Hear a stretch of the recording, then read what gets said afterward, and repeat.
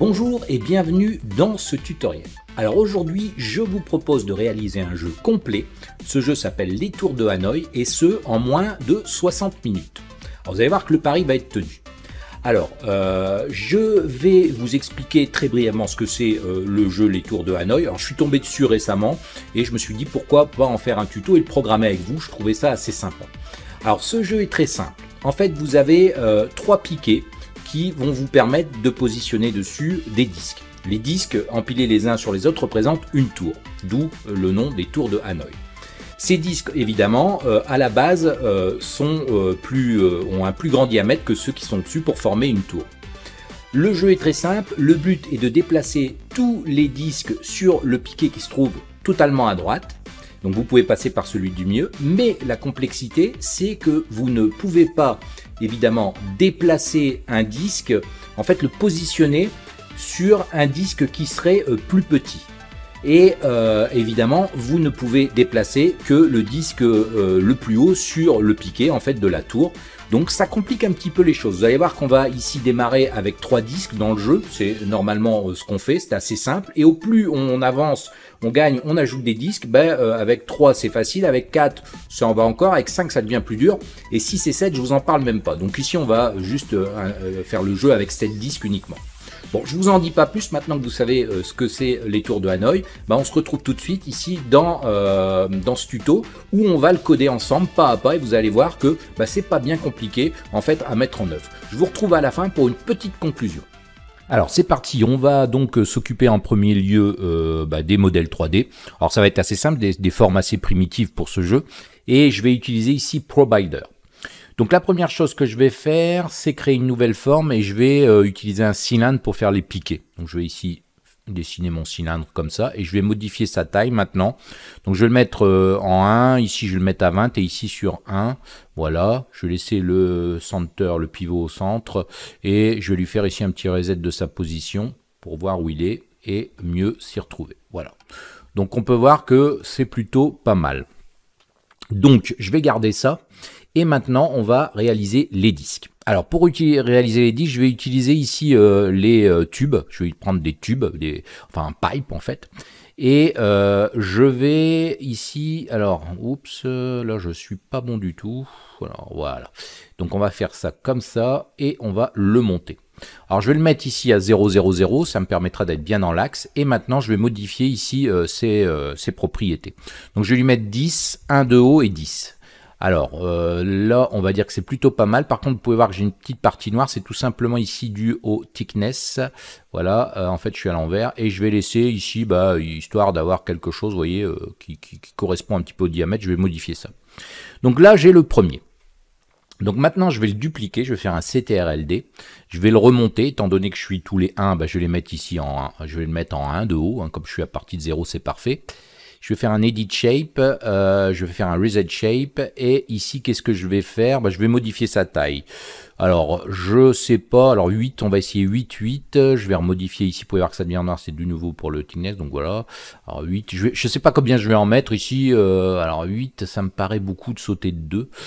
Euh, si je mettais, alors j'étais à, à 10, je vais mettre 8,5. 8,5.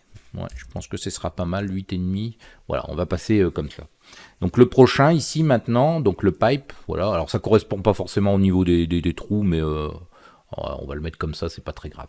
Donc le troisième, bah, je fais la même manœuvre. Évidemment, vous l'aurez compris, ici il va être à 3, euh, ou même 2 si je veux le coller, mais ici je vais le mettre à 3, voilà, au-dessus. Et euh, ici, bah, je vais faire la même chose, je vais faire un edit shape, reset shape, et ici bah, je vais lui enlever un ennemi, donc 7 euh, et 7. Et au niveau du thickness, ici on va agrandir un petit peu, voilà. Donc ça m'en fait ici 3 comme vous pouvez le voir, je vais le replacer ici à 2, voilà. Et puis ainsi de suite, on va faire ça, CTRLD, alors je sais pas combien je vais en mettre. Je vais en mettre quelques-uns quand même. Donc ici, il va être à 3. Edit Shape, Reset Shape. Et ici, donc 1,5 de moins, ça fera 5,5. 5,5. Euh, et puis au niveau ici du thickness, on modifie un petit peu, voilà. Euh, je continue, ça sera donc mon cinquième. Ici, je le place à 4. reset shape. Ici, donc on va le passer à 4 et 4 pour bien conserver ça. On va modifier un petit peu ici, voilà, ça. on va dire que c'est pas mal. Donc j'en ai ici 4 et puis ben, je vais le dupliquer encore une fois. Je vais le remonter à 5. Et euh, ici, je fais un reset shape. Donc ici, il sera à 3,5, 3,5, pardon, 3,5. Et euh, on va modifier ici le thickness. Voilà. Alors ça me paraît pas terrible. J'ai dû me planter quelque part.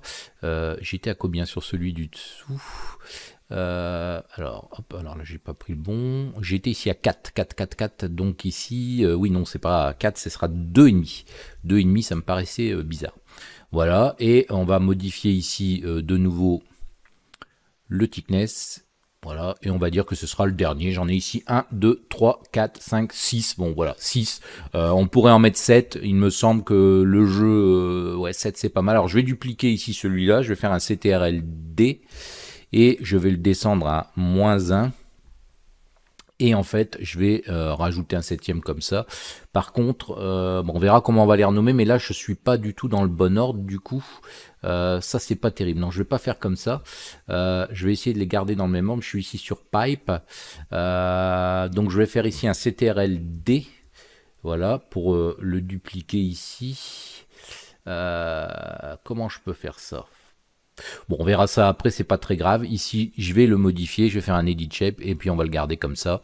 Donc ici, il sera à 11,5 et ici à 11,5. Et au niveau ici euh, du thickness, on va modifier un petit peu, voilà. Et on va le mettre ici à moins 1. Et donc, on a ici notre pyramide qui est construite, voilà, avec nos pipes. Donc, on va juste les laisser comme ça dans un premier temps. Et maintenant, l'idée, euh, bah, c'est de construire la base. Alors, la base, euh, bah, c'est tout simplement ici, ça va être en fait, je dois pouvoir positionner mes euh, Donc, ce que je vais faire, je vais prendre ici ça, je vais le positionner juste à ras. Voilà, je vais me mettre en, ici en ISO. Voilà, on va dire comme ça. Et l'idée maintenant, c'est d'avoir ces trois cylindres ici. Je pourrais jouer sur la taille ensuite. D'ailleurs, c'est ce que je vais faire tout de suite. La size, si je vais la passer à 10, 10, je pense que ça va pas être bon. Donc on va avancer, on va le positionner. Si on est bon à 10, voilà, c'est parfait. Je le descends un petit peu, voilà, c'est pas, pas grave. Et ici, bah, je vais euh, tout simplement le cylindre le, renommer Piquet 1, d'accord? Sur ce piquet, je vais y attacher euh, tout en enfant, tous mes, euh, mes cylindres. Et ici, pour tester, je vais le dupliquer deux fois. Donc une fois ici. Donc je vais me mettre en vue du dessus, en ISO, et je vais le déplacer voilà, pour essayer en fait de faire quelque chose qui est assez cohérent au niveau du placement. Et je vais le recopier encore une fois pour faire mon troisième cylindre, et de la même manière, je laisse à peu près le même espacement. Alors évidemment, dans les piquets 1, euh, ici, je vais les supprimer, je supprime tous les pipes, parce que eux, ils n'ont pas besoin d'en avoir. Ici, ce sera le piquet d'AV. Ici, je vais l'appeler donc piquet 2, et ici, piquet 3, 3. Donc maintenant qu'on a nos piquets et tout ça, on va s'occuper de la base qui va pas être le plus compliqué à faire. Alors pour la base, bah, je vais réutiliser Provider. Je vais prendre une New Shape. Je vais prendre ici un, cube. Un cube, ce sera assez sympa. Voilà, alors je sais jamais. Ouais, c'est celui-ci, le cube. Je vais me placer en ISO. Et euh, bah, on va faire quelque chose comme ça dans un premier temps. On reviendra dessus après s'il le faut. Ah, vous voyez, là je suis embêté. Je ne peux pas aller à cause. Alors je vais me déplacer. Voilà. Hop. Et ici, on a notre cube et je vais lui mettre une position de 1 sur Y, voilà. Et je vais bien ici maintenant le positionner où il faut, c'est-à-dire juste en dessous, voilà. Et on va dire qu'on a euh, bah, quelque chose qui ressemble à euh, notre jeu, en fait. On peut voir que ça fonctionne. Alors, ce qui n'est pas terrible, c'est qu'on a ici euh, bah, la texture par défaut de ProBuilder. Donc, on va ouvrir le Material Editor et dans ce matériel editor, hein, on peut voir, alors je vais essayer de la laisser voilà comme ça, on peut voir qu'on a ici euh, la provider par défaut. Donc ce que je vais faire, je vais créer ici un material de base. Euh, je vais l'appeler ici, alors material, je vais l'appeler euh, base, base material, voilà, base mat.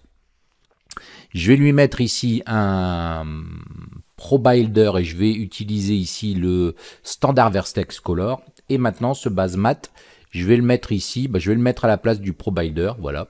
Et je vais sélectionner mes objets, je vais les assigner. Alors, on peut voir ici que ça n'a pas pris. Alors, pourquoi ici, au niveau de mon base mat alors c'est pas terrible ici, pourquoi j'ai ce sprite dedans? Je vais le supprimer. Voilà, là ça marche. Euh, et donc ici, bah, on va faire la même chose pour nos trois piquets. Voilà. Tac. Euh, alors les piquets ça a pris, mais pas les enfants. Ici les pipes. Voilà. Tac. Et là on peut voir que ça fonctionne bien. Donc ce qu'on va faire dans un premier temps maintenant, c'est utiliser les vertex color. Ça permettra de, colorier les choses rapidement, enfin d'ajouter une couleur rapidement. Colorier, c'est peut-être pas le mot. Donc je vais utiliser vertex color. J'ai déjà ici quelques couleurs ici qui sont prédéfinies. Donc je vais sélectionner mon objet là et par exemple ici lui je vais le mettre en noir. Euh, les piquets, ben, on va les mettre. Euh, alors on va changer ici celle-ci, on va la passer plutôt en, marron. Alors je vais euh, cliquer et on va prendre quelque chose d'un peu plus marron foncé, voilà, comme ça.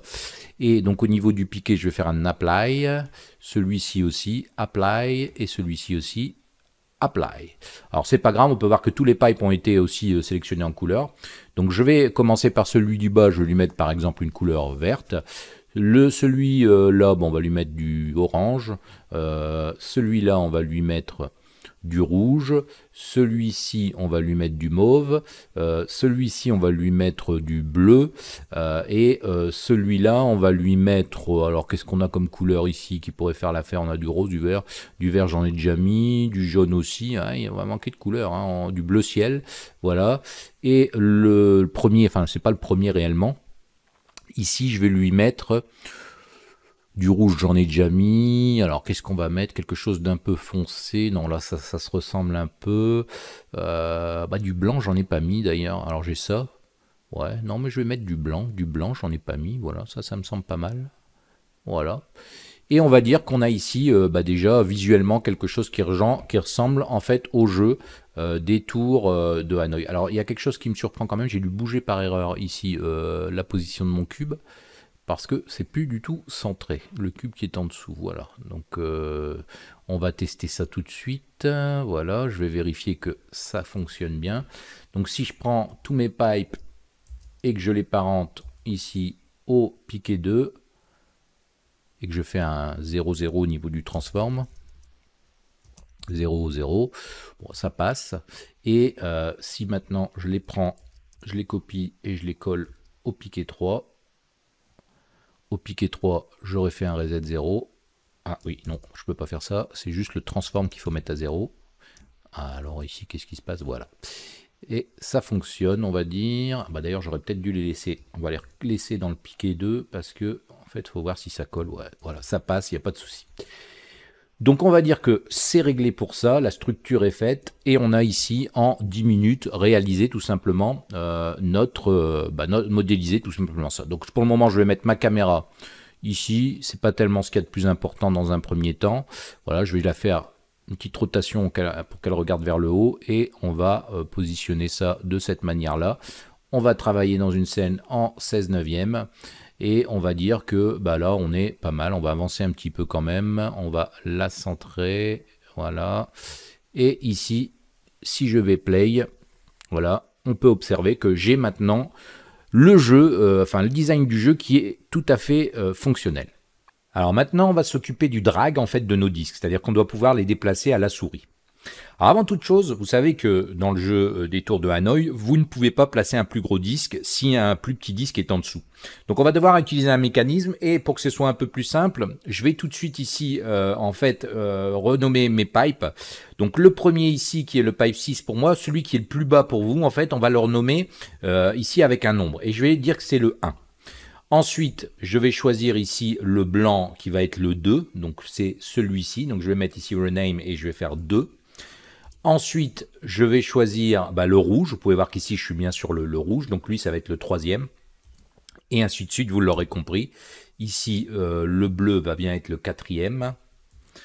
Euh, ici, euh, le vert va être le cinquième. Ici, c'est le sixième. Et pour terminer, ici, avec le septième qui va être le dernier. Voilà. Donc je vais tout de suite positionner ici, le mettre dans le bon ordre, voilà. Et on a bien ici 1, 2, 3, 4, 5, 6, 7, on les a bien nommés correctement.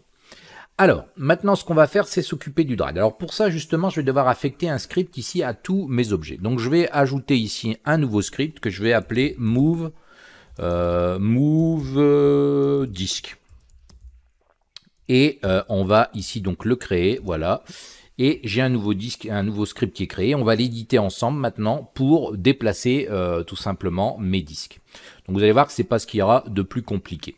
Donc je vais supprimer euh, ce qui existe ici et je vais créer ici des variables qui vont me servir, qui vont être de type allez, vecteur 3. Parce que pour le déplacer, bah, je vais avoir besoin en fait de calculer euh, un offset et aussi le point de référence. Donc je vais le nommer allez, screen point. Et le deuxième, ça va être offset, voilà. Et on va pas leur mettre de valeur. Donc pour déplacer un objet, il y a deux phases. En fait, ce qu'on appelle le drag and drop, là on va s'occuper du, drag et il y a deux phases. Lorsqu'on commence et quand on se déplace. Donc le premier, en fait, c'est euh, on, ici on va utiliser la souris, on va utiliser on mouse down. Alors évidemment, euh, alors là j'ai fait n'importe quoi, hop, pardon, je recommence, euh, void on mouse down, voilà. Donc la première chose que je vais faire ici, c'est donc quand la souris va être appuyée, je vais calculer mon screen point. Et euh, ce screen point, en fait, ça va convertir la position 3D d'un objet euh, en une position 2D à l'écran. Donc pour ça, on va utiliser world to screen point. Donc je vais dire que c'est égal, et là je vais aller chercher la caméra, donc caméra.main, d'où l'importance d'avoir votre tag euh, main caméra. si vous utilisez ça sur la caméra, ça nous évite d'aller la rechercher. Donc l'API c'est world to screen point. Et ici, bah, tout simplement, ma transform.position. Voilà, donc ça c'est fait. Ensuite, je vais calculer maintenant l'offset. Alors l'offset, c'est quoi? Bah, c'est tout simplement la différence entre la position de l'objet et la position de la souris sur l'écran. Et on va tenir compte aussi euh, de la profondeur de l'objet dans la scène avec screen point euh, qu'on vient de déclarer au-dessus. Donc on va tout simplement dire que c'est ma transform.position euh, moins, et là on va utiliser de nouveau une API donc qui va être caméra.main et ici, ça va être, euh, alors qu'on ne se trompe pas, ça va être screen, screen to world Donc screen to world point, voilà. Et on va y passer en paramètre tout simplement un nouveau vecteur 3, parce que là, on veut que ce soit la souris. Donc je vais faire new vector 3. Euh, je vais essayer de revenir à la ligne pour euh, essayer de, vous expliquer ça. Et donc là, bah, ça va être tout simplement la position X de la souris, donc input mouse position.x Pareil pour Y, input.mouse.position.y. Et le dernier, ça va être tout simplement mon screen euh, point que je viens de calculer au-dessus, .z. Voilà. Donc ça, c'est fait. Donc cette première partie, elle est faite. Maintenant, on doit pouvoir déplacer l'objet. Donc on va faire tout simplement, ici on va utiliser on mouse drag, quand on déplace la souris, qu'on a l'événement on mouse down qui a été cliqué. Donc c'est tout simplement quand je glisse, en fait quand je drague si vous voulez. Et donc là, on va créer un vecteur 3 qui va s'appeler cure euh, screen point. Et on va dire qu'il est égal à un nouveau vecteur 3. Alors qu'est-ce qu'on va calculer? En fait, on va créer un, nouveau vecteur 3, euh, un nouveau vecteur 3D, pardon, qui contient les coordonnées x, y de la position de la souris sur l'écran. Donc ça, bah, c'est assez simple de nouveau. On va reprendre ici euh, tout simplement ce qu'on a fait là. Ça va être euh, la même chose si je ne dis pas de bêtises. Voilà. Donc voilà, ici, alors je vais revenir à la ligne aussi pour que vous voyez bien les choses. Et j'ai ici mon vecteur. Alors j'ai par contre ici une de trop. Voilà. Donc ça, c'est fait. Maintenant, qu'est-ce qu'il nous reste à faire? Ben, Il nous reste maintenant à recréer, on va créer un vecteur 3 qui va s'appeler current, cure, euh, position. Donc en fait, la position de l'objet qu'on est en train de draguer. Donc cette nouvelle position, en fait, euh, on va la calculer en utilisant la position actuelle euh, de la souris. et on va aussi tenir compte en fait du décalage offset. Donc, on va dire ici que c'est égal à hum, la caméra, ce coup-ci caméra.main, et on va aller chercher maintenant euh, l'API qui se nomme screen to world non, screen to world point, c'est bien ça. Oui, je me trompe pas parce que j'ai toujours du mal avec ça. Et là, on va, aller chercher tout simplement ici euh, cure euh, screen point et on va ajouter l'offset. Voilà. Et donc maintenant, qu'est-ce qu'il nous reste? Bah, Déplacer notre objet. Donc on va faire transform position est égal à curve position. Alors vous allez voir que ça va poser un petit problème, mais on va déjà ici tester pour voir si ça fonctionne. Donc je lance mon code, après que ait compilé, et on va voir si on sait déjà déplacer l'objet. Donc je le prends, et là on peut voir que ça se déplace. Je le lâche, il reste où il est, c'est parfait. Alors, se pose quand même un petit problème, regardez. Ici, vous pouvez voir que si je descends et je le pose là, il passe devant. Et si je monte ici, vous pouvez voir qu'il est un petit peu sur la tranche, il n'est pas centré. En fait, c'est tout simplement dû ici justement à l'axe Z. Regardez, on va avoir le même problème à chaque fois, ça avance, et au plus je monte, au plus ça recule en fait. Vous voyez qu'ici, je ne suis pas tout à fait dedans, et si je descends, voilà, on peut voir que ici, ben, vous voyez que je suis, euh, voilà, voilà. Donc ça, c'est dû tout simplement à l'axe Z. Alors, pour bien vous le compreniez, regardez, si je reprends mon objet ici, là, il est parfaitement centré. Si je le recule un peu, vous pouvez voir que si je le monte, vous voyez, on peut voir qu'en profondeur, l'axe Z recule mon objet. Donc moi, ce que je dois faire, c'est régler ça. Mais ça, ça va être très simple. Parce qu'en fait, ici, ce qu'on va faire, au lieu de dire que c'est une nouvelle euh, position, on va le laisser à zéro sur, euh, sur l'axe, enfin, on va garder sa transform position, en fait, de l'objet. Donc on va ici, plutôt que d'utiliser ça, utiliser un nouveau vecteur 3 de nouveau. Et on va passer ici cure position. Alors, cure position, ne vous trompez pas. Position.x. Ensuite, ça va être cure position.y. Et ici, au lieu d'utiliser cure position, on va dire qu'on va prendre tout simplement la transform.position.z de l'objet. Voilà. Et ça, ça devrait régler ce souci. Maintenant, en fait, ils n'auront l'occasion que de se déplacer euh, sur X, sur Y et sur Z, ils resteront euh, à leur position initiale. Donc regardez maintenant, vous voyez que là, il est bien centré, là, il est bien centré. Si je le pose en bas, il est bien centré. Si je remonte, je suis bien à chaque fois au niveau du centre. J'ai plus ce phénomène, comme vous avez pu le voir tout à l'heure. Et donc là, on peut déplacer tous les disques où on veut. Voilà, tac, tac, tac et tac. Donc là, évidemment, il n'y a aucune logique. On peut faire absolument n'importe quoi. Mais en tout cas, l'idée, ce sera ensuite de pouvoir les déplacer comme ça. Et ça, bah, maintenant, on sait déjà faire, on l'a mis en place. Maintenant, ce qu'on voudrait, c'est que euh, quand on déplace un cube, en fait, il soit soumis à la gravité parce que quand on lâche, bah, on veut qu'il puisse chuter. C'est assez logique. Donc, ce qu'on va faire, c'est qu'on va utiliser des rigid body. Donc, sur tous mes disques, je vais ajouter ici un rigid body. Alors, si je fais ça dans l'état actuel des choses et que je lance la scène, on peut voir que ça chute. C'est normal parce qu'ici, au niveau du cube, euh, donc euh, ici, euh, ajoute un Mesh Collider. Alors, on va essayer de le passer en convexe pour voir si ça passe. Alors, on peut voir que ça ne passe pas, mais évidemment, j'ai le même problème ici sur le Mesh Collider, voilà, convexe. Qu'est-ce que ça donne? Là, on peut voir que ça marche. Donc voilà, on va les laisser en convexe, c'est pas grave. Et ici, on a maintenant, comme on peut voir, ben, alors ce qui se passe, c'est que vous pouvez voir que déjà, euh, ben, mon disque, il chute bien, mais euh, vous pouvez voir qu'en fait, il a aussi une rotation. Vous voyez, euh, il, quand je, il part, c'est pas normal. Donc ce qu'on va faire, c'est qu'au niveau des rigid body ici, on va friser en fait. On va dire qu'il ne peut, on va contraindre en fait tout les positions sur X et sur Z, et on va aussi contraindre les trois rotations. Parce que nous, ce qu'on veut, en fait, c'est tout simplement que ça se déplace à gauche, à droite. Voilà. Et comme ça, là, je peux faire ça comme ça. Vous voyez que, tac. Donc là, il y a de la collision avec les piquets. Bon, ça, ça m'intéresse pas beaucoup. Alors, ce que je vais faire pour le moment, je vais prendre le piquet ici. Alors, je ne comprends pas pourquoi il y a de la collision, étant donné qu'ici, je vais désactiver son Mesh Collider, et je vais le faire sur les euh, trois ici, voilà, pour qu'il n'y ait plus de collision avec les piquets, parce que en fait, voilà. Ce qu'on voudra après, c'est positionner, en fait, parce qu'on peut devoir ici, vous voyez, glisser comme ça et le faire tomber.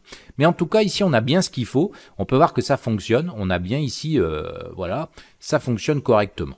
Notre système fonctionne. Alors, ce qu'on va faire aussi, on va profiter ici, au niveau du rigid body, de modifier l'angular drag ici à 0. Voilà. Alors, ce qui serait sympa aussi, parce que vous pouvez voir que là, le problème qui se pose, c'est que si je descends mon disque, ah, voilà, il y a des trucs bizarres qui se passent, comme vous pouvez l'observer. Et ça, c'est pas bon. voyez? Donc ça, on ne doit pas pouvoir le faire. Alors ce que je voudrais aussi, moi, pendant que j'y suis, c'est que euh, mon, la, je dirais la gravité soit un peu plus rapide parce que là, c'est pas terrible. Donc je vais utiliser ici le vote start et je vais modifier la gravité au démarrage en allant chercher la classe physics.gravity et je vais te dire que c'est égal à un nouveau vecteur 3 et normalement c'est 0, et par défaut la gravité qui, est attirée c'est 9,81 flotte de mémoire. Euh, et donc euh, ce que je vais faire ici, je vais en mettre beaucoup plus. Euh, on va mettre moins, allez, moins 20 flotte pour voir déjà ce que ça donne. ce que je voudrais c'est qu'il tombe un peu plus vite parce que là c'est assez mou. Et j'aime pas trop ça. Alors je sais pas si 20 sera suffisant. Vous pouvez aussi le modifier directement dans les paramètres. Non, c'est pas du tout suffisant. Donc je vais, euh, bah, je vais mettre, euh, allez, on va exagérer, on va mettre 120. On va tester, et là je pense qu'on ça sera un petit peu mieux. Alors vous pouvez modifier ça directement dans les paramètres, mais moi je préfère le faire par le code. Alors voilà, puis là on peut voir que du coup il passe au travers. C'est beaucoup trop là, donc je vais euh, mettre plutôt quelque chose comme 80. Voilà, on va trouver la bonne valeur. Bon, c'est du réglage, ceci dit, mais c'est important. Ouais, là c'est pas mal, mais c'est encore un peu rapide. Alors on va mettre, euh, allez, 50. Et on va le laisser comme ça, parce que ça m'évite comme ça. Sinon, au niveau du collider, je vais devoir modifier euh, la propriété qui est discrète et autres, et ça, j'ai pas trop envie de le faire. Voilà. Donc, on va le laisser comme ça. Si vous avez des problèmes de collision dus à la rapidité, il suffit ici, euh, au niveau, au niveau, il faut, au niveau ici de la detection collision, de la passer en continu. Mais euh, bon, ça va prendre un peu de ressources, mais là, vous aurez beaucoup moins de soucis au niveau de ce problème. Donc voilà. Alors maintenant, ce qui serait intéressant, euh, comme on l'a vu, c'est de gérer ce petit problème ici de saut. Vous voyez, euh, si en fait je fais ça, euh, ça c'est pas terrible. En fait, ce qu'il faudrait, c'est qu'on ne puisse pas, qu'il n'y ait pas de collision, en fait, qu'il n'y a pas de, de rigid body qui fonctionne à partir du moment où ici j'en déplace un. Et donc, ce qu'il faudrait faire, c'est désactiver en fait ici le rigid body, mais on va pas le désactiver, on va tout simplement cocher is kinématique. Parce que si on coche is kinématique, on peut voir que là, du coup, vous voyez, ça fonctionne plus. Mais quand je le lâche, ça fonctionne plus. Donc, ce que je dois faire, c'est, quand je le déplace ici, modifier cette propriété is kinématique, de la passer ici à true et de la passer à false. Voilà, c'est aussi simple que ça. Donc, on va faire ça. Alors, ce qu'on va faire, c'est qu'on va créer une fonction qui va euh, permettre de le faire parce qu'on va devoir l'appeler deux fois.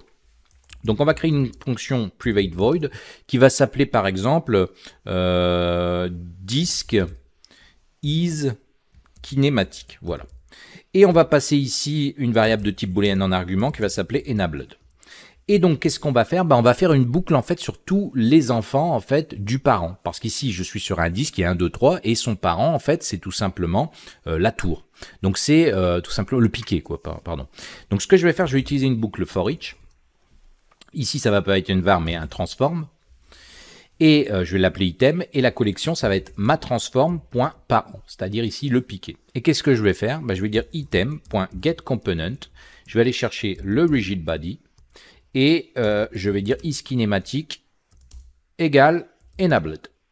OK, voilà. Donc ça, c'est fait. Et maintenant, j'ai plus qu'à appeler cette fonction au moment opportun, c'est-à-dire que quand je vais appeler ici le unmultin, c'est-à-dire quand je le coche, ben, je vais dire isKinématique je vais appeler cette fonction et je vais passer tout simplement ici true, c'est-à-dire qu'il doit passer en is Et ensuite, bah, quand est-ce que je le fais? Quand je le relâche. Parce que là, vous allez pouvoir observer que si je lance... Alors là, ça fonctionne pas d'ailleurs. Euh, ou alors je me suis trompé. Euh, is true. Ça devrait rester en is Alors j'ai peut-être fait une erreur ou j'ai oublié d'enregistrer on va regarder ici, euh, si je le passe pas, je vais ici le mettre en play focused, voilà, tac, on va ici prendre un rigid body euh, bah, du 1 par exemple, alors le 1 c'est celui-ci, donc il est bien en kinématique, oui j'avais pas dû enregistrer, voilà. Oh oui, pardon, c'était moi. Voilà, donc on peut voir que voilà, ça fonctionne bien, mais le problème c'est quand je relâche, ça redescend pas. Donc ça, moi je veux pas. Moi je veux que quand je le relâche, ça euh, descend. Donc bah, je vais tout simplement utiliser une troisième méthode. C'est tout simplement ici void on euh, mouse. Euh, ouh là là, à chaque fois je le fais. Hop, void on mouse. Et ici, hop, en fait, quand je relâche le bouton de la souris, bah là, je vais tout simplement, en fait, c'est comme si je lâche. Bah, je vais tout simplement ici euh, repasser à false. Voilà, c'est aussi simple que ça. Et là, on va avoir le comportement qu'on désire. C'est-à-dire qu'on va pouvoir maintenant euh, gérer la gravité. Voilà, si je le déplace et que je descends, on peut voir que ça passe bien au travers, donc c'est plus un problème. Et si je le lâche, tac, ça fonctionne. Donc en fait, si je vise bien, bah, automatiquement, euh, je suis dessus, mais il faut que je vise correctement. Voilà. Donc vous pouvez voir qu'on a ici ce qu'on veut, mais le problème c'est qu'on peut faire absolument tout ce qu'on veut avec nos disques. On peut voir que l'idée en fait c'est qu'ils se déplacent automatiquement bah, sur une des trois, un des trois piquets et qu'on ne puisse pas en fait tous les déplacer comme on le fait là, vous voyez, parce que là, bah, euh, vous voyez que c'est un peu n'importe quoi. Si je le prends, tac, lui je le mets là, lui je le mets là, voilà. Donc on peut, c'est pas comme ça que ça doit fonctionner. Alors l'idée maintenant, ce serait que quand on lâche en fait un objet, il vient bien se mettre au centre du poteau. Et euh, peu importe, en fait, euh, on va, euh, même si je suis à côté, en fait, l'idée c'est ça. Alors comment on va faire?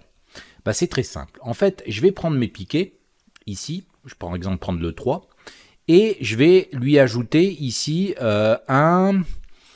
alors, vous pouvez voir que j'avais désactivé aussi les mesh collider, enfin ils étaient désactivés par défaut pour pas qu'il y ait de collision avec eux. Donc je vais ajouter ici un box collider, et je vais le passer en trigger Et je vais modifier en fait son size sur X. Alors, ce que je vais faire, je vais essayer d'en créer, euh, voilà, trois qui sont de la même taille. Donc ici, je vais par exemple passer 10 et 10. Voilà. Alors, ce qui va avoir d'importance, c'est euh, la largeur. Donc, je vais passer ici en, vue de face et en mode ISO. Et euh, bah, je vais faire la même chose pour le piquet 2. Donc ici, je vais ajouter un box collider. Je vais le passer en Ease Trigger et je vais lui mettre 10 et 10. Alors si je sélectionne les deux, qu'est-ce que ça donne? On peut voir que c'est un peu court. Donc ce que je vais faire, si bah, je vais ajouter directement ici celui-là aussi. Donc là, évidemment, alors oups, je sais pas si je l'ai coché par erreur. Donc box collider, is trigger 10 et 10. Donc on va ajuster les trois box collider de nos piquets pour qu'en fait il n'y ait pratiquement pas d'espace entre deux. Donc si je passe 12, bah, on est pas mal ici. Vous voyez que j'ai mes trois box collider, il y a très peu d'espace entre deux. Donc ça c'est parfait. Maintenant ils sont réglés. Alors pourquoi je, me fiche en fait euh, d'ici de la hauteur, il n'y a que la largeur qui compte, parce que rappelez-vous on ne peut les dépasser que ici sur l'axe Y. Donc quoi qu'il arrive, je serai toujours voilà dedans. Donc maintenant, qu'est-ce qu'on va faire? Bah, On va tout simplement utiliser ces triggers dans notre script. On va aller dans Move euh, notre script et on va créer ici la nouvelle méthode que vous connaissez qui est on euh, trigger enter. Et donc, qu'est-ce qu'on va faire? Bah, On va tout simplement dire que quand un objet rentre dans le trigger, et en l'occurrence ici ça peut être que nos disques, on a que ça qui se déplace, bah, on va faire un transform et on va prendre ici other transform. C'est-à-dire que, en fait, je vais dire que l'objet doit se parenter à l'objet qui, est euh, sur le collider. Donc ici, ça va être tout simplement mon piquet.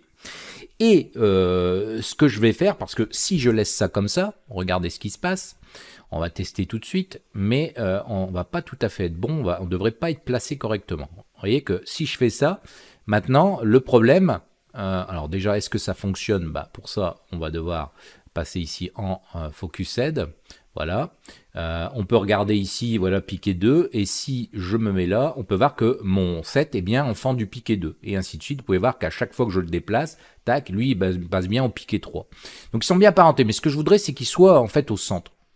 Donc ce qu'on va faire, c'est qu'on va tout simplement ici remodifier la transform.local euh, position de l'objet, ça local, hein, parce que là en fait il va être parenté, et on va dire que c'est égal à un nouveau vecteur 3, et ce vecteur 3 en fait ça va être tout simplement 0 sur x, on va garder la transform.position sur y pour pas qu'il y ait de décalage, mais de toute façon avec la gravité il va chuter au sol, et voilà. Et comme ça, ça va nous permettre de l'avoir en théorie bien au centre, même si on le lâche ailleurs. Alors c'est une solution comme une autre, évidemment le but euh, sera ici, euh, alors j'ai quelque chose de bizarre, alors ça c'est dû, vous pouvez voir, à mes collisions ici. Euh, donc je vais devoir aussi gérer si par exemple il y a la fin du drag. Parce que là du coup ça fonctionne pas correctement. Donc je vais ici créer une nouvelle variable qui va être de type boolean, donc private bool, et on va l'appeler nDrag. Voilà. Euh, qu'est-ce qu'on va faire avec cette variable? Alors on va tout simplement, on va d'ailleurs dire qu'elle est égale à false au démarrage. Voilà.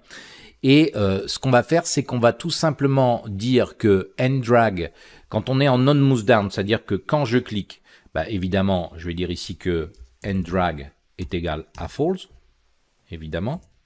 Par contre, quand est-ce que je vais l'activer? Bah, Tout simplement quand je lâche le bouton de la souris. Donc ça va être ici. Donc je vais dire ici nDrag est égal à true. Et donc, cette opération ici, euh, trigger enter, je vais la déclencher uniquement quand nDrag sera égal à false. Donc, if euh, sera égal à true. Donc, s'il est égal à false, à ce moment-là, je vais tout simplement ici faire un return. Voilà, ça va être aussi simple que ça. Et ça, ça devrait solutionner notre problème de saut euh, ici des disques si je ne dis pas de bêtises. Voilà, on peut voir que ça fonctionne. Et si maintenant je le lâche là, on peut voir que... Alors j'ai toujours un problème ici. Donc ça, on va devoir créer une, nouveau, une nouvelle collision parce qu'on peut voir que ça fonctionne en fait, mais pas très bien. Euh, si ici je relâche et que je le mets directement là, là on peut voir que ça fonctionne en fait. Alors c'est tout simplement dû, je pense, à mon Y qui pose problème ici.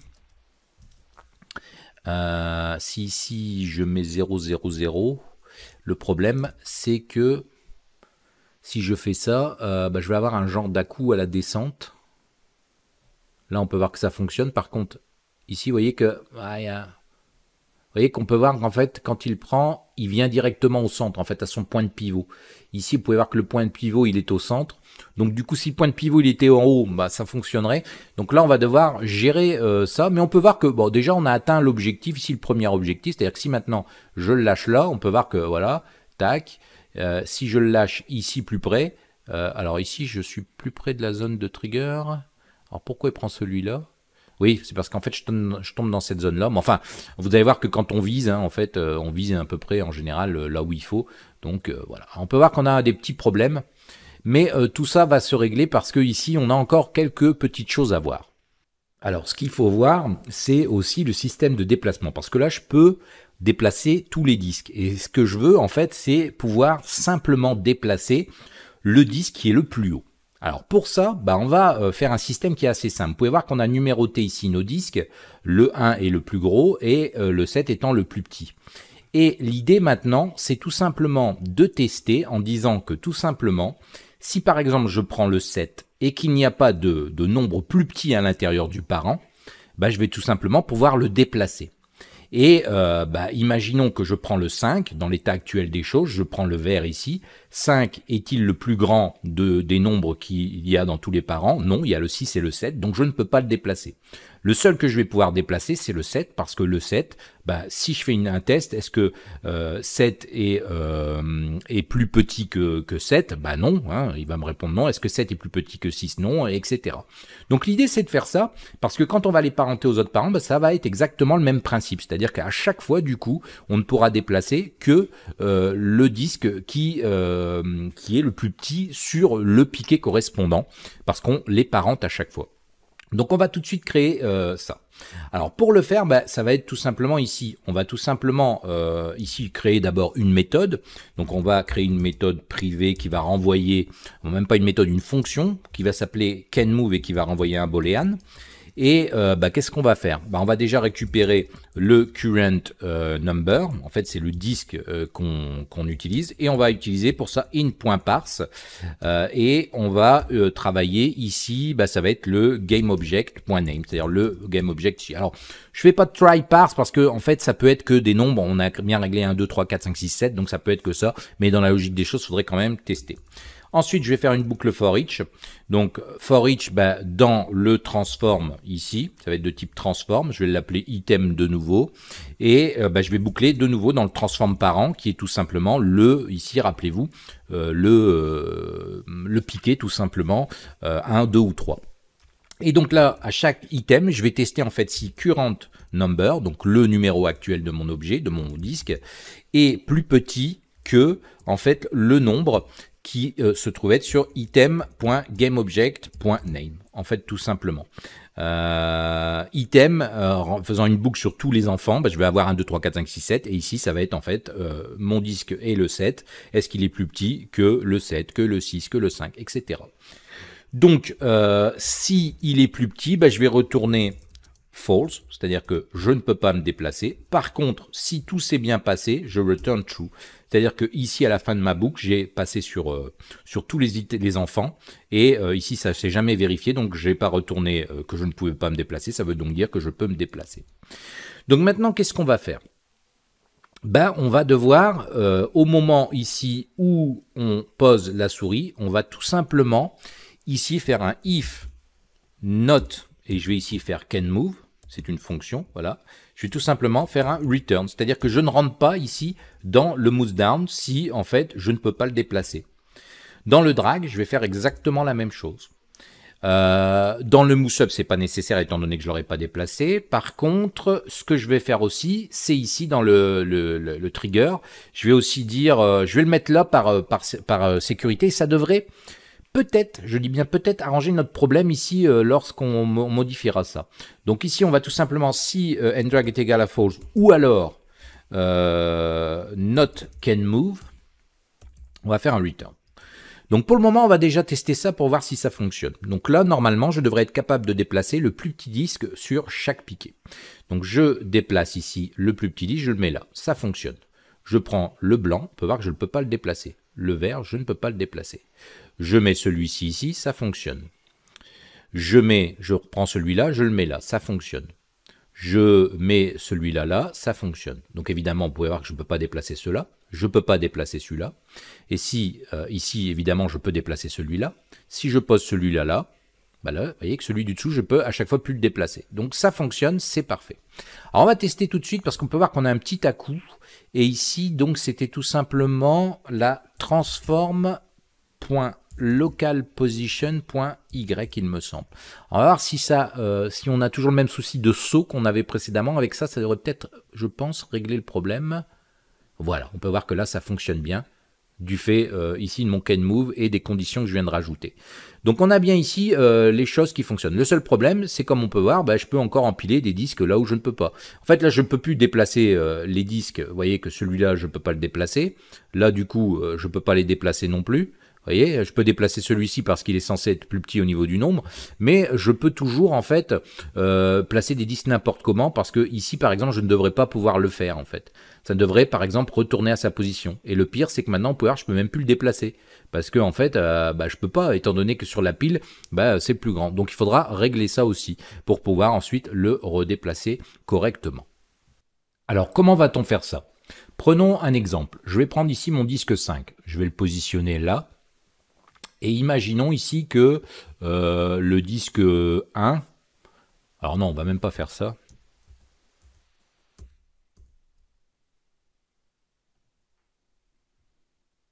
Alors comment va-t-on faire ça? Imaginons ici que je prends mon disque le plus petit, voilà, je le positionne ici. Alors on va dire qu'il est au sol. Je prends maintenant le deuxième disque. Ce que je vais faire, on peut voir que quand il arrive ici dans le trigger, on le parente. Bah là, tout simplement, on va vérifier en fait que les disques qui sont en dessous, par exemple ici, j'ai le nombre 6, bah, je vais vérifier que 6 n'est pas plus petit que les disques qui sont en dessous. Et là, est-ce que 6 est euh, plus petit que 7 Bah oui. Donc ce que je vais faire, bah, je vais empêcher de le parenter, je ne vais pas le faire et je vais le faire retourner à sa position d'origine. Voilà, c'est aussi simple que ça. Donc, on va les repositionner correctement. On va aller au niveau de notre code ici, move disk.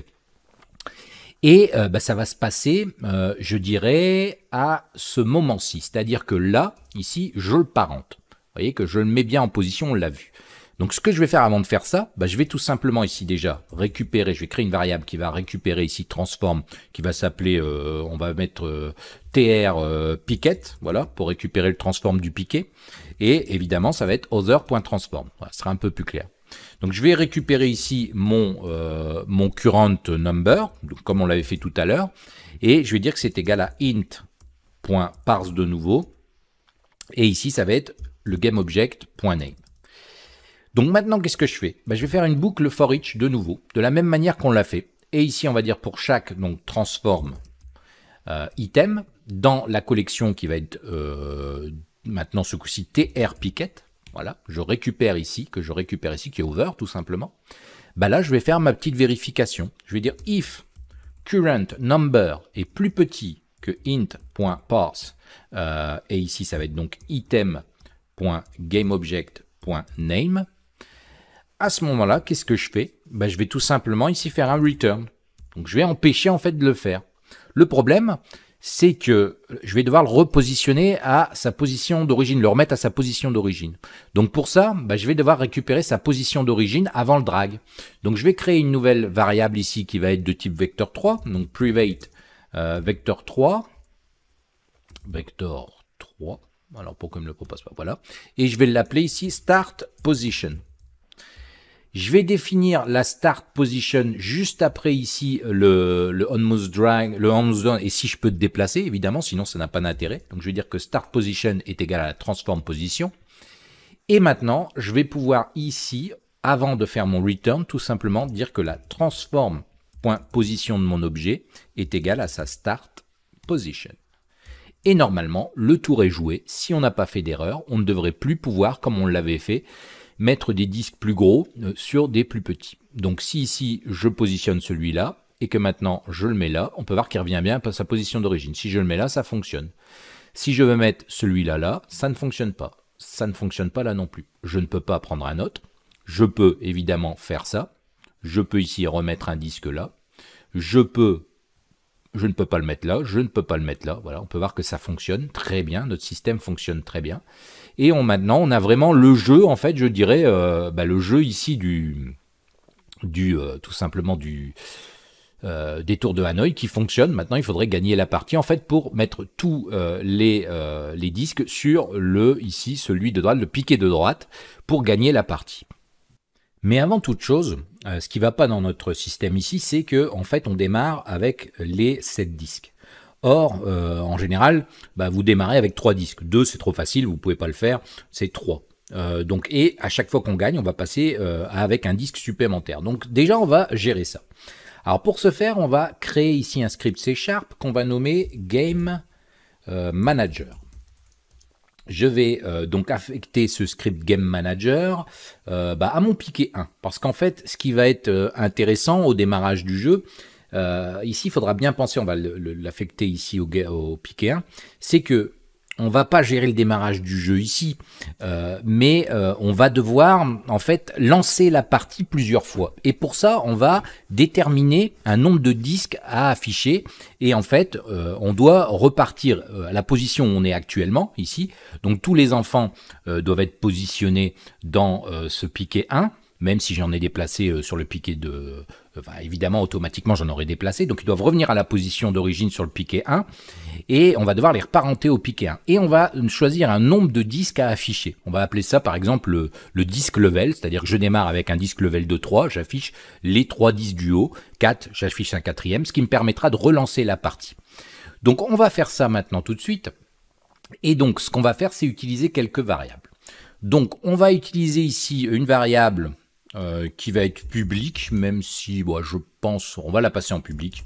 Comme ça, elle sera accessible dans l'inspecteur et je pense qu'on en aura besoin. C'est pas certain, mais on verra bien euh, depuis l'autre script, mais euh, je pense que oui. Donc on va mettre 3 au départ, on démarre avec 3 disques.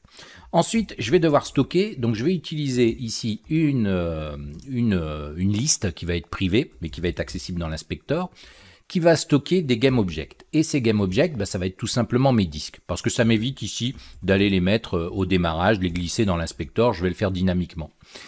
Et euh, je vais faire la même chose, mais là, je vais euh, créer une liste maintenant de vector 3 pour stocker les positions. Et évidemment, je vais l'appeler disk position.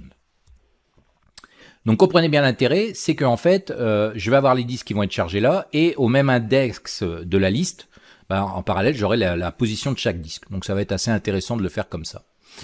Euh, donc pour le moment, c'est tout ce que j'ai besoin. Et je vais faire ici, euh, à le wake, bah, je vais maintenant charger dynamiquement mes listes.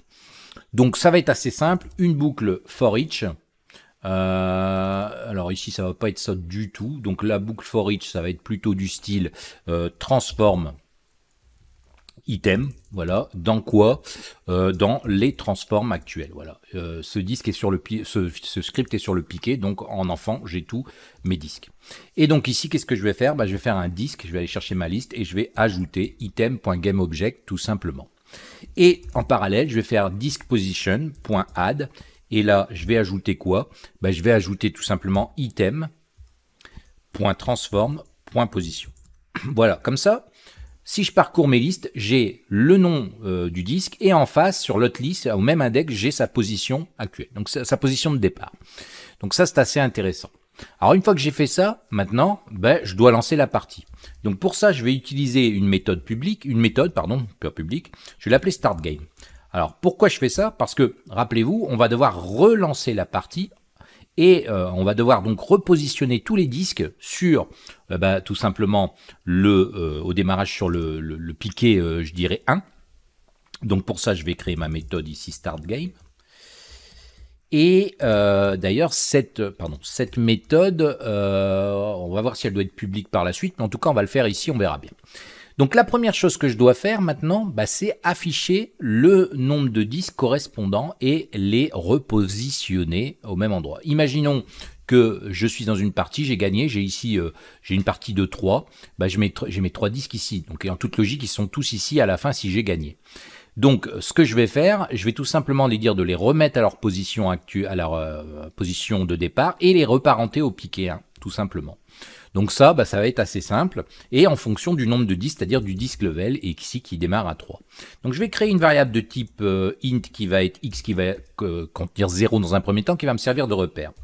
Je vais faire une boucle for, et dans cette boucle for, en fait, je vais devoir aller la faire aller à l'envers. Parce que moi, en fait, regardez, euh, si ici, je vais de 1 à 7, vous voyez, moi, c'est ici 7, 7, 6, 5 que je dois afficher. Donc, je vais la faire partir de la fin pour aller à 0. Je vais la faire aller dans l'autre sens. Donc ici, je ne vais pas dire que int i égale à 0, mais il va être égal à disk.count. Et comme disk.count est une liste, j'ai 7 éléments dedans. Euh, de 0 à 7, j'en ai 8. Donc attention, parce que si ici je vais appeler l'indice i commencera à 8, et donc disque euh, indice 8 n'existe pas. Donc je vais devoir faire moins 1, parce que là sinon je vais aller de 8, en fait je vais aller de 8 à, euh, à ce que je désire, et donc je vais avoir un, out of range. Donc je vais faire moins 1 tout simplement. Quand est-ce que je m'arrête? Bah, Tout simplement quand i est... Alors, oula. Quand i est supérieur ou égal à 0. Donc jusque-là, il n'y a pas trop de complications à avoir. Et ici, au lieu d'incrémenter, on décrémente. Voilà. Donc jusque-là, il n'y a rien de bien compliqué. Maintenant, ce que je fais, à chaque fois que je vais dans la boucle, je vais vérifier if x est plus petit que disque level. Donc là, disque level, c'est le nombre de disques que je dois afficher, c'est mon level. À ce moment-là, ben, je vais tout simplement faire un disque indice i et je vais faire un set active true. Ensuite, qu'est-ce que je vais le faire? Je vais le reparenter. Donc je vais faire un disque i euh, point, point euh, transform.set pardon, set parent. Et ici ben, on va lui passer transform. Ici ma transform est false s'il veut. Et euh, la dernière chose que je vais faire c'est le repositionner. Donc je vais dire disque i point et là je vais prendre transform.position et je vais dire qu'elle est égale à la disque position index i voilà et donc là je repositionne ça veut dire que en fait x est égal à 0. ici, je dois afficher en fait les disques qui sont les plus hauts. Donc je démarre ici à 7. Donc 0 est plus petit que 7, oui. 0 euh, est plus petit que... Euh, pardon. 0 euh, est plus petit que 3, oui. Et donc ici, j'agis sur le disque 7, d'accord? Et 6, ça va être pareil, etc. Donc pour que ça fonctionne, il faudra que j'incrémente mon x à un moment donné. Donc à chaque fois en sortie du x, je vais faire un x++. Ce qui fait que Ici, bah, euh, ici vous pouvez voir que à la fin ici, donc est-ce que 7 est plus petit que 3 Oui. Donc j'affiche le disque 7. J'augmente de 1. Est-ce que 6, 2, euh, pardon, est plus petit que... Alors je vais y arriver. 0 est plus petit que 3, j'active le disque. Ensuite, 1 est plus petit que 3, j'active le disque. 2 est plus petit que 3, j'active le disque. 3 est plus petit que 3, non, je n'active pas le disque. Donc dans ces cas-là, qu'est-ce que je fais? Bah, Je fais un else. Donc j'ai bien mes disques en fait, qui vont être affichés dans le bon ordre. Et là, je vais faire un disque euh, i point set active. Et là, évidemment, on va le désactiver. Voilà. Bah ça, ça devrait suffire pour faire notre système de démarrage. Donc on va le savoir tout de suite. Donc je crée ici, je mets euh, le script piqué 1 qui est le Game Manager. On peut voir que j'ai bien 3 disques de sélectionner. Ici on devrait voir que ça se remplit dynamiquement. Je vais lancer la partie et là on peut voir que j'ai bien 3 disques. Et ici mes listes se sont bien remplies avec les positions. Donc on peut voir que ici ça m'intéresse très peu. Mais en tout cas ça a bien fonctionné. Le gros intérêt c'est que maintenant quand j'aurai gagné la partie, je vais dire bon bah maintenant tu démarres avec 4 disques. Je vais mettre 4 ici. Et donc là j'ai bien 4 disques. Je vais dire ensuite tu démarres avec 5 disques. Et là, tac, 5 disques. Et évidemment, je pourrais même démarrer avec un disque, mais enfin deux disques, mais euh, évidemment, il faudrait gérer ça. Mais euh, vous l'aurez compris, ici j'ai bien deux disques. Donc ça me permet de démarrer vraiment avec le nombre de disques que je décide, et ça, c'est important. Alors pour terminer, il nous reste à voir quand est-ce qu'on gagne la partie. Alors on va faire ça très simplement. Ça va se passer au niveau du piquet 3. Et en fait, on va avoir de, devoir avoir le même nombre euh, d'éléments que euh, tout simplement euh, bah, notre notre level ici, on a notre level disque level. Si le piquet 3 a bien ici deux éléments dedans, bah, on aura gagné la partie tout simplement. Donc on va coder ça tout de suite dans notre Game Manager. Ce qu'on va faire, c'est qu'on va créer ici une méthode qui va, une public void, voilà, public void, et on va l'appeler isWinner. Voilà, tout simplement. J'ai pas trop d'idées. Et donc, qu'est-ce qu'on va faire là-dedans? On va tout simplement faire une référence vers le piquet 3. Donc ici, je vais faire un champ sérialisé pour gagner du temps. Et euh, je vais utiliser un GameObject et je vais l'appeler euh, piquet 3. Voilà, piquet 3 parce que c'est le piquet euh, sur lequel on gagne. Et donc, ce que je vais faire ici, je vais utiliser, je vais dire if euh, piquet 3, piquet 3, euh, point transform, et là je vais compter son nombre d'enfants, donc child count, et là je vais dire qu'il est égal à disque level, bah à ce moment-là, qu'est-ce que je fais? Bah ici je vais tout simplement euh, faire un debug.log dans la console. Euh, win, voilà, tout simplement, win, euh, win the game. Voilà, j'ai pas trop d'idées, mais de toute façon c'est du temporaire. Donc ça c'est parfait. Maintenant ce que je dois faire, c'est appeler ici euh, ça à un moment donné. Donc dans mon move disk, en fait, ce que je vais faire, je vais faire une référence vers ce script et c'est là que je vais devoir l'appeler. Donc je vais euh, créer un champ sérialisé de nouveau, encore une fois, serialized field qui va être de type, bah là ça va être euh, game manager, c'est le nom de mon script et je vais l'appeler game manager en minuscule. Et donc, ce qu'on va faire maintenant, c'est ici dans le on trigger quand on positionne tout simplement ici l'objet sur le piquet, bah on va tout simplement faire une référence vers Game Manager et on va aller chercher isWinner. Et donc, si je ne me suis pas trompé, on va pouvoir observer, là ça tombe bien, je crois qu'on avait mis deux disques. Je devrais pouvoir euh, ici gagner la partie très rapidement. Je le mets là, je le mets là, je le mets là. Et là, on peut voir que j'ai nul référence object. Alors oui, c'est tout à fait logique. J'ai oublié dans mon piquet 1, vous voyez une petite erreur, euh, de renseigner le piquet 3, ce qui est plutôt embêtant. Et ça va être la même chose ici euh, pour les ici les objets du Game Manager. Voilà, sur mes objets, je vais ici glisser le Game Manager qui est tout simplement le piquet 1. Voilà, ça fonctionnera un peu mieux comme ça. Donc là, je mets ça là. Euh, bah, C'était pas comme ça du tout. Voilà, bon, bah, c'est rien. Vous voyez, j'ai un coup de trop. Je le mets là. Et ici, j'ai gagné. Et voilà, on peut voir win the game. Bon, évidemment, on va habiller les choses. Alors, ce qu'on va faire, c'est qu'on va tout simplement créer ici très rapidement pour terminer ce jeu un nuit euh, canvas. Je vais le passer ici en scale with screen size. Je vais ici passer en 2D. Je vais ajouter dedans tout simplement un message. Euh, alors, on va prendre ici un UI Text Mesh Pro. On importe les essentiels et on va tout simplement mettre un simple message. Voilà, alors je sais pas pourquoi ça me fait toujours ça. Donc ici, je vais marquer euh, vous avez gagné la partie.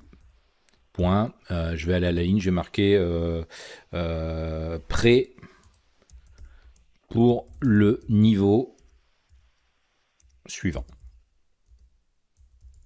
Voilà, alors on va arranger ça très rapidement, hop, un peu comme ça, comme ça, alors je vais pas trop m'embêter, je vais euh, centrer, je vais mettre ça comme ça, on va prendre une police plutôt noire, donc si je lance ça fait ça, voilà, alors je vais plutôt le mettre plutôt en haut, bon, ceci dit ça n'a pas tellement d'importance, voilà, euh, et maintenant ce que je vais faire, je vais ajouter ici euh, un UI button, un button button, text mesh pro, je vais lui mettre ici button next, et euh, je vais écrire dedans euh, suivant, voilà.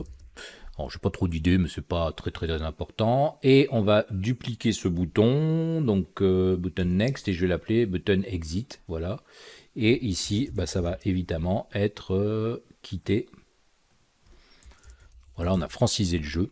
Et donc, j'ai mes deux boutons. Donc, button next, je vais le mettre ici. Et euh, button exit, euh, bah, je vais le mettre un peu plus haut. Voilà. Alors je m'embête pas trop avec la présentation. Vous aurez compris qu'ici, euh, ça c'est des choses sur lesquelles je vais pas m'arrêter. Voilà, suivant, quitter. et d'ailleurs c'est un peu pas terrible à cet endroit-là. Alors j'ai dit que j'allais pas m'embêter, puis vous voyez que je vais quand même le faire un petit peu. Je pense que plus bas, non, c'est pas beau non plus. Bon, c'est pas très grave, on va le laisser là, ici en haut. Et donc maintenant, ce que je vais faire, bah, dans mon Game Manager, je vais tout simplement créer une référence ici euh, vers euh, le, panel, le panel que je viens de créer. Donc je vais faire un serialize field et euh, game object et je vais l'appeler ici panel win. Euh, on va évidemment le désactiver au démarrage. Donc ce que je vais faire au start game, je vais ici dire, parce que normalement il est affiché si on redémarre, donc set active false. Et je vais euh, tout simplement dans ici le isWinner faire un panel win set active tout. Je l'active tout simplement à ce moment-là. Et là, il me reste mes méthodes privées. Donc ici, public, mes méthodes publiques. Public void next level. Donc comment je vais coder ça? Bah, Ça va être très très simple. Je vais faire disque level plus plus. Alors, bon, je vais pas tester, mais là, vous doutez bien que vous devez euh, tout simplement aussi vérifier que vous ne dépassez pas le nombre de disques, c'est-à-dire 8, euh, 7, pardon. Et je relance la partie, et ensuite, j'ai public void euh, exit game. Et ici, bah, on va faire un application application.kit. Voilà. Donc il me reste tout simplement maintenant à euh, ici au niveau donc de mon euh, piqué. Alors, je vais laisser compiler. Donc mon game manager, renseigner ce qu'il y a à renseigner. C'est-à-dire ici mon panel win qui est donc ici euh, bah, en fait, c'est carrément mon game object. Hein. Je pense que je vais mettre le canvas, ça devrait fonctionner. Euh, et puis, renseigner maintenant sur les boutons. Donc, button next, on va faire un petit plus. On va aller chercher le piquet qui contient notre strip game manager, game manager, et ici next level. Et pour le button exit, on fait la même chose, piquet 1, et on va chercher tout simplement ici euh, exit game. Et donc, si maintenant on teste le jeu, on va euh, ici au niveau du manager dire qu'on commence avec trois disques parce que c'est plus compliqué. Voilà. Donc je vais jouer, alors je vais même me mettre en plein écran. Je pense que pour euh, terminer, on peut voir qu'on l'a terminé ce jeu. Et maintenant, bah, il ne reste plus qu'à tester. Donc je vais me mettre ici en maximised. Et, euh, pardon, j'ai cliqué ici sur les gizmos, c'est un peu moche, voilà. Donc je euh, tente de gagner, donc je, alors je fais ça, euh, je fais n'importe quoi, c'est ça, voilà. J'aurais même pas dû faire comme ça, bon enfin c'est pas grave, ça va fonctionner aussi. Là, voilà, ils n'ont même pas. Qu'est-ce que je fais? Alors on va essayer de gagner, vous voyez que c'est pas ça du tout qu'il fallait faire, voilà, c'est comme ça. Vous voyez que si on fait pas gaffe, on s'y perd. Hop, lui, je le remets au milieu, et lui, je le mets là, et lui, je le mets là. Et là, j'ai bien, vous avez gagné la partie, prêt pour le niveau suivant. Je fais suivant, et là, j'ai bien mes 4 disques, et évidemment, avec 4 disques, ça va se compliquer. Je vais essayer quand même. Tac, euh, tac, ici, là, lui, là, lui, là, hop. Vous voyez que on y arrive quand même, ce fameux jeu des tours de Hanoï. Euh, sauf que là, j'ai fait n'importe quoi. C'est plutôt là, là, là, ici, ici, et voilà, et voilà. Et là, j'ai bien ici mon niveau suivant et on peut voir que maintenant j'ai bien mes 5 disques. Alors je vais m'arrêter là parce que euh, c'est assez complexe comme jeu. Euh, surtout quand on commence à avoir 5 disques comme ça, vous pouvez voir que ça se complique. Et d'ailleurs, euh, le finir à 7, c'est pas forcément évident. Mais en tout cas, ici, on a mis en place un jeu. On peut voir qu'on l'a fait bah, en moins d'une heure. Et bah, on a mis tout en place de A à Z, le gameplay ici, pour jouer autour de Hanoï. Donc évidemment, ce jeu peut être amélioré. Mais on a ici euh, de bonnes bases. En fait, on a créé le jeu, il est fonctionnel. On pourrait rajouter plein de choses. Mais évidemment, ici, le but était de vous montrer comment réaliser ce jeu, les tours de Hanoï. Alors voilà, Paris tenu, on a réalisé ce jeu en un peu moins d'une heure. On était à peu près à 59 minutes. Alors évidemment, on aurait pu aller un petit peu plus vite et on aurait pu euh, améliorer des choses. Ici, on a une bonne base, mais euh, on, peut voir que graphiquement, j'ai été assez vite. Mais euh, on pourrait aussi, par exemple, ajouter le nombre de tentatives. On pourrait mettre plein de choses. sachez aussi qu'il existe un algorithme dit récursif qui permet en fait de trouver la solution en fait des tours de Hanoï. Donc ça pourrait être implémenté aussi par exemple sous forme d'aide. Enfin, il y a plein de possibilités. Et euh, bah voilà. Donc j'espère en tout cas que cette vidéo vous aura plu. Alors n'hésitez pas à mettre un gros pouce bleu sur la vidéo, à vous abonner à la chaîne si ce n'est pas déjà fait. N'hésitez pas à venir me rejoindre aussi sur Twitch. Euh, sachez aussi qu'il y a la page Facebook où il y a pas mal d'articles et autres, donc euh, n'hésitez pas à venir vous abonner aux pages et vous abonner à Twitch. Et puis bah sur ce, voilà, j'espère que cette vidéo encore une fois vous aura plu, puis je vous dis à bientôt pour une prochaine vidéo. Bye bye